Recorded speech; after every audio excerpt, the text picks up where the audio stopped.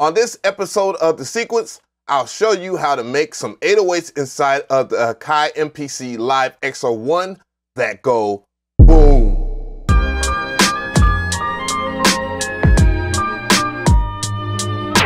The Sequence. All right, so this can go extremely good or extremely bad. Uh, just let me know how you feel about it in the comments section, because I'm sure you will let me know. So let's go ahead and play the sample track of an 808 that I made from scratch. Hmm.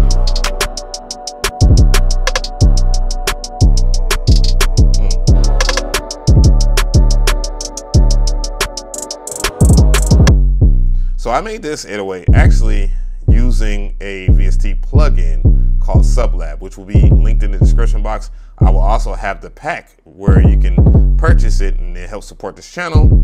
Uh, and it comes with like, I believe 40 808s or whatnot. They're all around the same type of style as this one right here. So yeah, it's worth it. I use it all the time, obviously. So what I'm gonna do is make that kind of 808 inside of the MPC in standalone. So that's very possible to do. Uh, the first thing I need to do though is access the plugin program. So just access the plugin program yourself. Uh, make sure that you hit the plus sign because that's always a good idea to hit the plus sign to have a new uh, program ready to go so you don't have any uh, program overlapping and mess something up. So I'm gonna go ahead and access the plugins because I need to select my MPC drum plugins and one specific one at that is called Drum Synth. And yeah, we're gonna use drum synth kick. So now that we have drum synth kick here, uh, the next thing that we're going to do is this right here. Uh, one thing I notice about drum synth is the level that you would have to transpose it for it to be active. And right now it's out of tune and that's cool. So hit your program edit button on your MPC one on the Live and X I believe, well, the X has a program edit button, or it should at least, all those buttons. With the live, you would just have to hit uh, your menu button and then this pad right here, or you can do it on here too as well on the one. But yeah, so now we're in here. You have this kick that's very akin to this kick on here. That's why that model is called 80. So you know, this is supposed to be a TR-808, but this is the boutique version uh, that I got from, uh, I bought a while ago and no comment. I like it, by the way. But yeah, so you have different models. You have 90s. You have Driven 8, sounds cool. Hybrid, Trance, Natural A, Natural B, Hard 1, Hard 2, and clipped. So I'm gonna go back to 80s. Now, the main thing that you need to know is you can navigate this UI via the Q links. So let's go ahead and navigate to the Q links and let's start with this tab right over here or this part of the UI, uh, which has tune. So tune is already on G and you need your 808s to be tuned to C.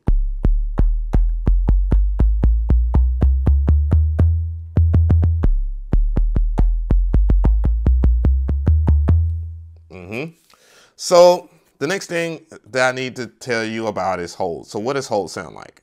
So hold sounds like this when it's on zero. If you have it all the way to the right, if you boost it, it will hold a little bit longer, but there's also a category called decay. And I find that to be more effective because if you have less decay, more like a kick. Now, if you have more decay, more like an 808, right? Boom. So there's another category called sweep, which adds a little bit of a kick to it naturally. Now I've worked with this sweep and thinking I could get an 808 to really have that Zaytoven, Pi'erre Bourne type bounce, but no, it just didn't work. So uh, you have harmonics here, and harmonics is pretty decent. Just gives you a little bit more register. Gives you more harmonics, obviously. And now you have click, You can hear it gives you a click. Not necessarily my cup of tea. Uh, then you have noise. You'll hear a little bit of it now, but you'll hear more of it when I uh, introduce this parameter, which is noise COL, which I don't know. Like different noise. I guess that means noise collection. I don't know. But yeah, nonetheless, we're not going to use noise. Uh, we're not going to use harmonic. Well, we'll use a little bit of harmonic. But now we have an 808.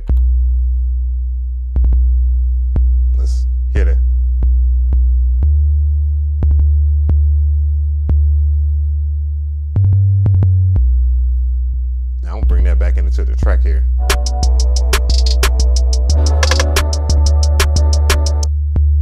Woo, it sounded good so far.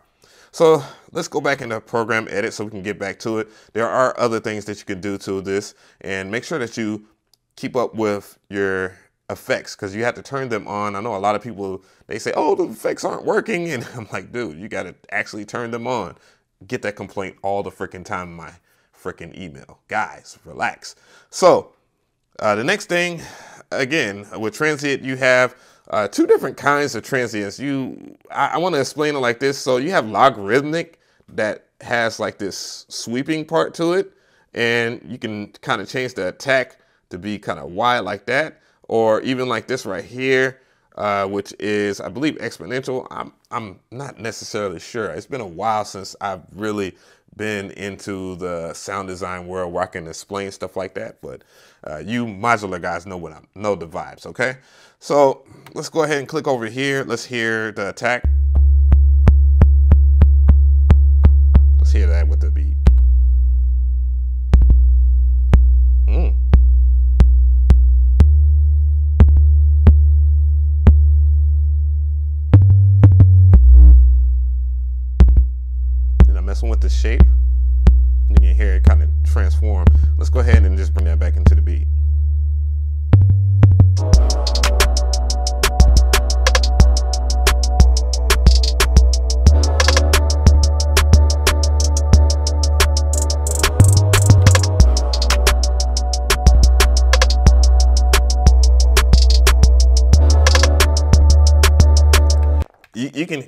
Hear that it doesn't have that one thing in the 808 that's going to make it have that bounce. And we're going to get to that. I know I, I, it's a lot to explain. So now we have distortion. And yes, the main thing you want to do is make sure that the mix is all the way up so you can hear it. Or you can have it at 50% and just kind of parallel your, your distortion. But let's go ahead and mess with pre-shape so we can hear it. Oh, well, I need to turn it on. Boom. Let's go over here. You add more drive, get more distortion. Uh, threshold, let's hear that.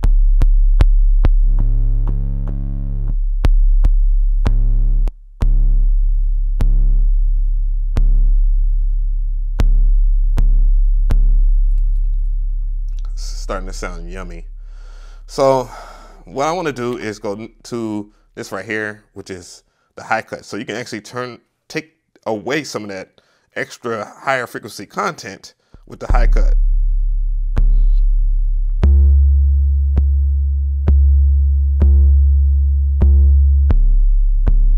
And also there's mix, so you can, you know,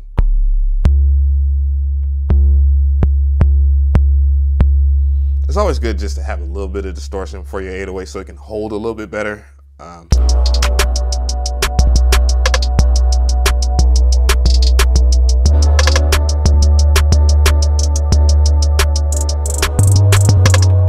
yeah, just to experiment here. So we're gonna go over here to EQ because I wanna demonstrate that there is an EQ. It's a four band EQ and you can further add or take away stuff. So we're already in the gain area. So when you add gain, you're adding whatever it is. So if you're adding gain to the lower frequency, it will sound like this right here. Let's actually use the right Q link.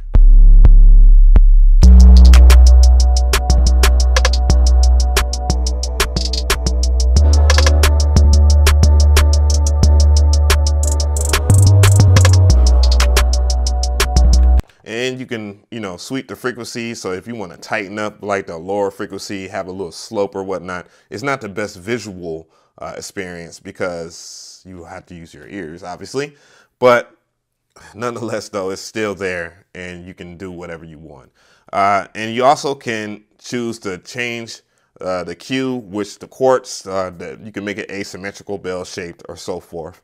Uh, if you want to do that. I don't add any compression. I'm going to take the EQ out too as well. Now, uh, on to the thing that matters the most in this video, and that is the sampler. So uh, what I want to show you, and let's go from the very beginning here, because you have access to like input one and two, and that's not what you want. You want to go for a resample. So let's go ahead and resample the left part. You can resample left or right or left and right if you want to do that. But I try to stay and keep things mono so that you have a transient uh, that is consistent. That's the reason why I do that. Uh, with the sampler too as well, you can add, insert any effect that you want, of course. And I just want to make sure that you do that. But there is one thing that we're not going to use. We're not going to arm this or doing of the sampling from here. And that's because we have access to one feature right here. Let's go into main. Let's go ahead and change plugin 8. Let's, let's make plugin 8 a name here. Uh, let's call that AV808. Boom. Boom. Uh, and now we're going to go back into the sampler. And we're accessing this right here. Let's go ahead and do that. Let me, let me go ahead and do that again.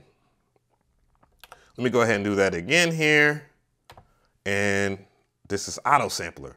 So the auto sampler is going to uh, bring a lot to the table. So from the very beginning here, you can see the track name, the program name, and I have a video where I explain how the auto sampler works in detail. Uh, just in case, just to save time here. Uh, you can choose the minimal note to the max note right now is C2 to a C4. Uh, you got to keep that in mind as well so that you don't do anything crazy. Note stride, uh, I believe if you have it on six, it will take up less hard drive space or less, yeah, less hard drive space, but you get less quality. So uh, if you have it on one, it will sample almost every single uh, note as it goes. So I don't think it's really important for the 808 that we're gonna do. Uh, and we only have one layer right now. So yeah, that's one thing that I wanna point out there. And then you can rename your stuff right here. So I'm gonna keep it at AV808 auto sample. Uh, you can choose the looping point if you want it to be reverse alternating or you can turn it off. I'm just going to go ahead and just leave a looping point there. Oh, actually, no, I don't want a looping point. I, I just turn it off. So yeah, that's what we'll do. Uh, auto trim start and make current program. Uh, on completion, let's go ahead and make it the current program because we will use this and if I mess up, we'll find out later. So let's hit do it. And it'll go through the sampling process. It's auto sampling this.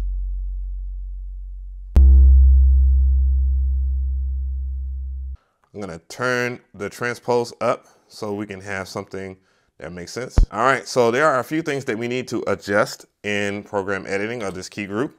So the first thing we need to do is adjust uh, the levels here. We got note on. Let's do the one shot.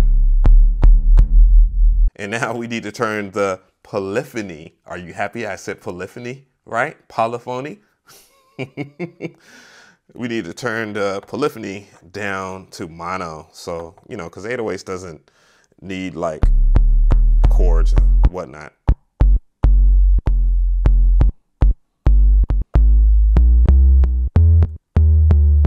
And you'll notice, and I'm gonna make sure that you guys see this, because it's very important because you hear a lot of the clicking. You see that it's on note on on certain notes. Uh, I don't know why they chose to do it like that on on certain instances of like anything.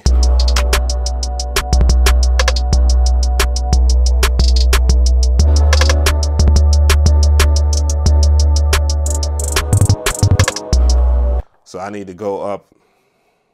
Let's go up on semi, semitone. So just hit your bank and just set it up. I don't know. It's one of those rare bugs that it has.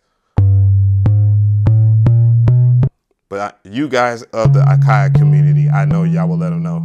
Ricky Tinez, get on a video about how horrible the Akai is. MP, Ricky Tinez. Go ahead and make your Akai is so horrible for having bugs this right here video. I know you would do it.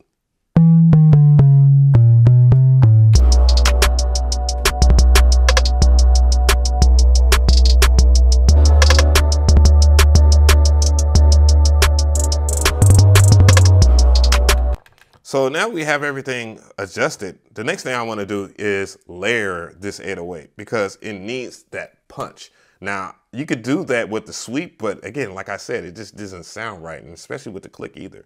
I don't know. Maybe you guys will find something out. So I'm in layer two. I'm on the sample tab, and let's go ahead and grab, which I know something that I already know exists in this project. So I have a kick that I want to layer with it. And how does it sound now?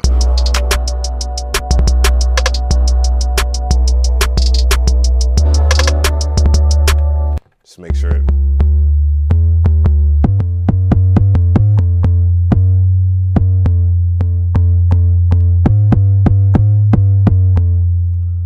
So let's go ahead and layer that kick on to every track. So let's make sure that it's like that on every track here. I see that is kind of depicted on different things. These are this is all different than what I normally would do. Let's go ahead and just add it anyway. So add it some more and let's make sure you do the same. Go back into bank A. So let's hear it on the track so far.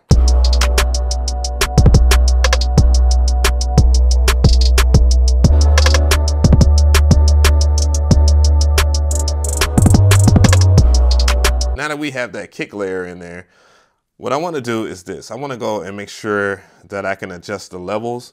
I don't want to do anything random to it or anything like that. So I'll just go and hit the Q link and just adjust that level here. Damn. And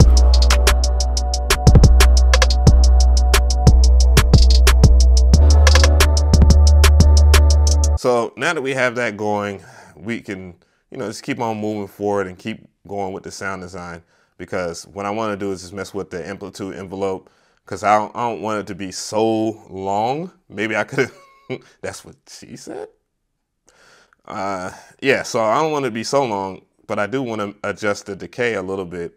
So let's go ahead and mess with the Q links and uh, mess with the decay of the sample. One thing I did notice is that you can adjust the key groups in all and then like one or two, or you can choose whatever key group you want to use. Yeesh, I didn't, eh, I, I covered it in this video. So, but back to the, the envelope, uh, let's go ahead and make some proper adjustments to it. So uh, let's mess with the decay, bring it back a little bit.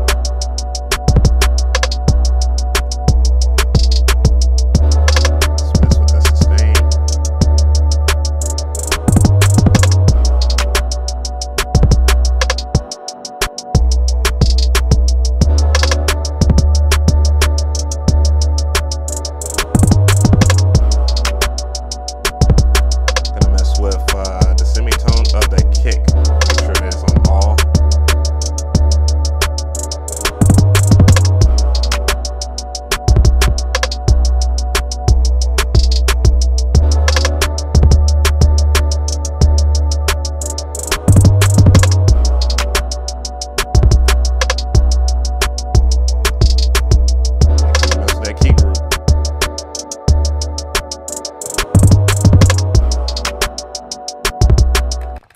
so now that we mess with that, let's mess with some effects. I could, yeah, let's, let's add a little bit of portamento to it. Why not?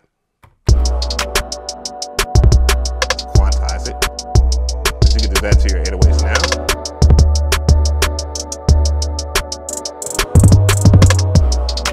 Mm. Uh, I can, you know, mess with other things. So let's transpose it down.